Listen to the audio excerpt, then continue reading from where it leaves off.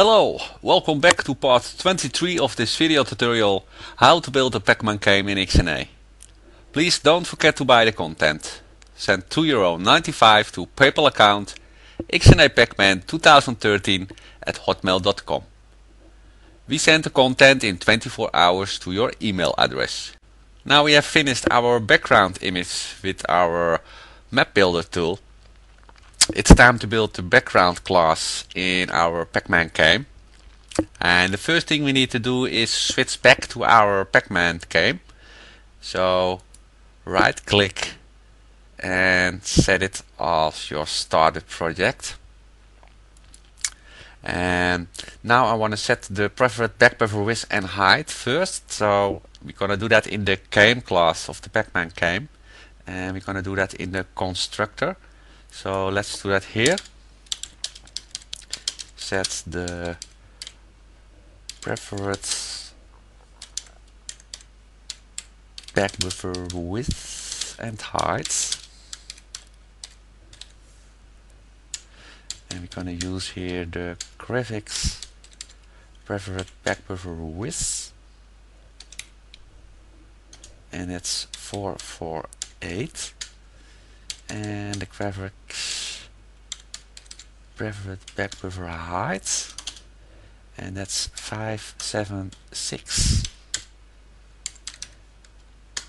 and now we need to apply the changes. So just like this. Alright and now I want to create the game state. So go to the enum class and we're to create the game state just here. So public enum game states. And we have three of them. And the first one is end. We have a game and an intro. Alright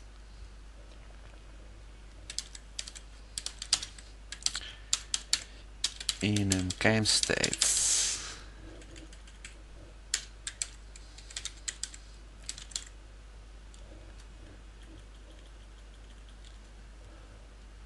Alright, and now we have built the game states. We can implement it in the game class. And the first thing we need to do is to define the game state. So let's do it in the public section. It's a public static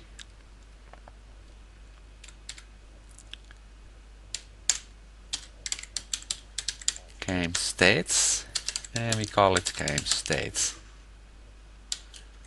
Right represents the game state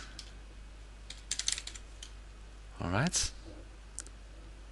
And now we have defined the game states. We need to set the game states. And we're to do that in the initialize method.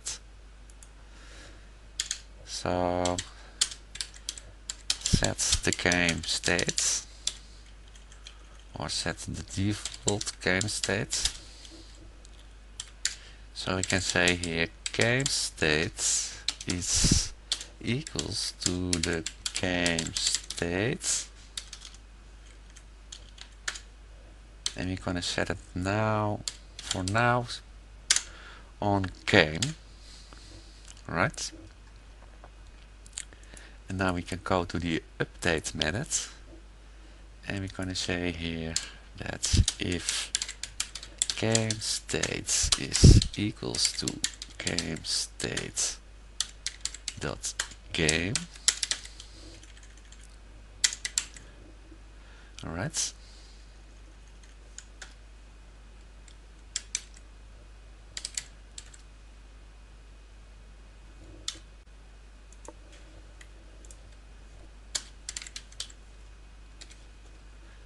scan.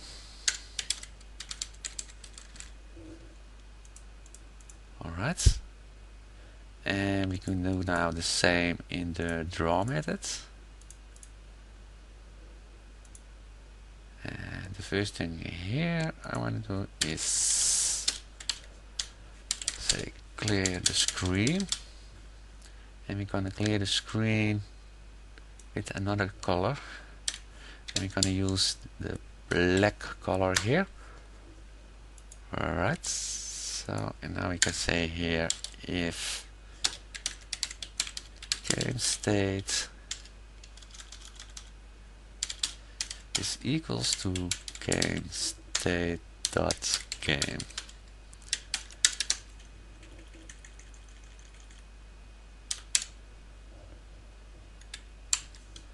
Alright. Alright,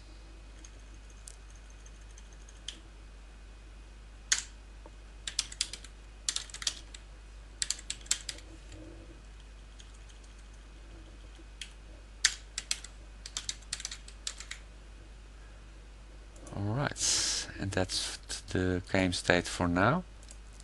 So now we're gonna build the background class. So go to project add class and we call it the background.cs and the first thing we're gonna do is copy the using block from the object class just like this alright. And it's a public class so. And we need a texture. So let's define here a private texture 2D and we call it the background texture. Alright. Represent the background texture. Alright.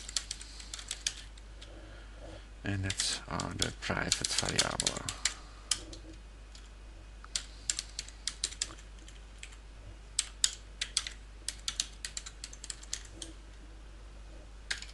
Okay. Now we need the constructor, so public backgrounds. And we leave it empty for now. And in a later tutorial we're going to implement the background flashing but that is for a later tutorial. So the backgrounds constructor.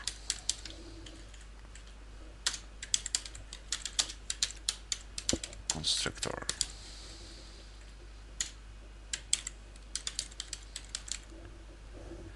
And now we need the load content.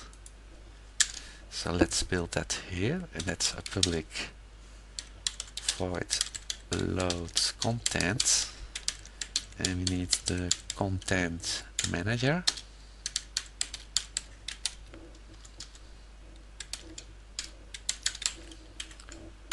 And we're gonna load here our background texture. So load the background texture.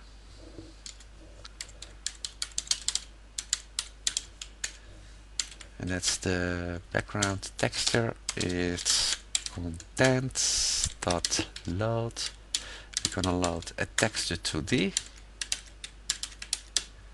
and now we need our background texture. So go to your background texture on your PC and I have mine here. And we're going to copy that.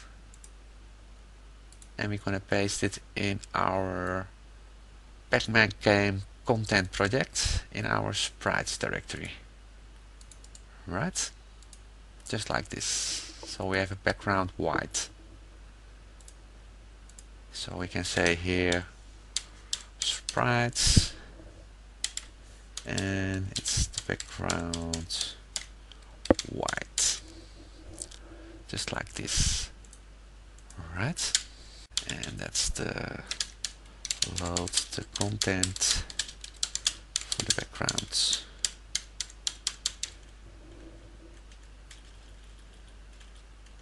And that's the content manager.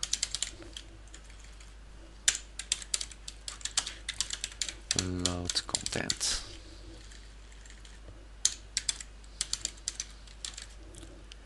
And now we need to draw the background, so let's build that function now.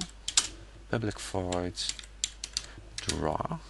And we need the sprite batch.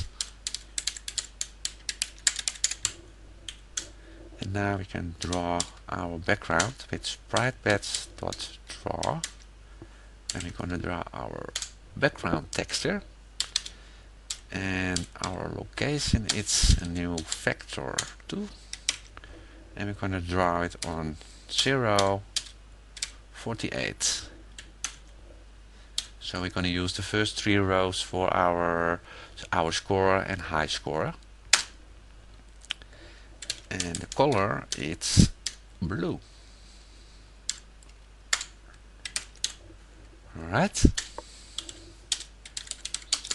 alright draw the backgrounds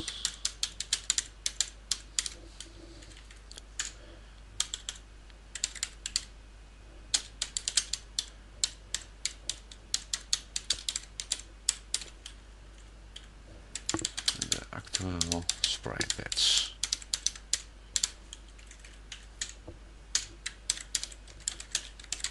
and that's the draw Alright. Now we have built our background class. We can implement our background class. So let's do that in our game class. And the first thing we need to do is define the background. So we're going to do that in the public section. So it's a public static background and we call it the backgrounds. Represents the background object. Alright. And now we need to create the background object and we're to do that in the constructor. So just here create the background object. So we can say here background is new backgrounds. Alright. Now we need to load the content for the background. So in the content load content methods, you can say here load content for the background. And you can say here background is load content and we passed the content. Right? And now we need to draw the background. So let's go to the draw methods. And we're going to do that just here in the game section. And we're going to use a different sprite batch. So sprite batch begin. And sprite batch dots ends.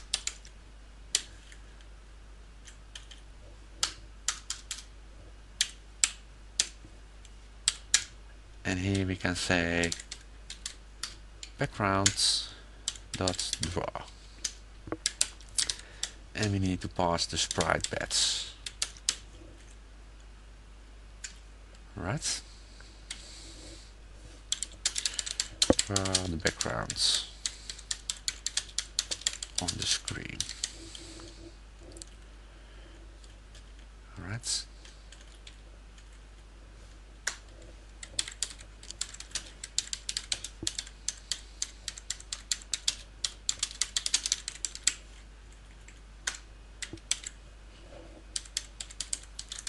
Just like this. So let's see how it looks. Wow. It's just like a game. I'm going to finish the tutorial here and in the next tutorial we're going to start with implementing the tile collision. So Pac-Man cannot walk everywhere where he wants but stay exactly in the maze. Alright I hope you enjoy and see you in the next tutorial. Bye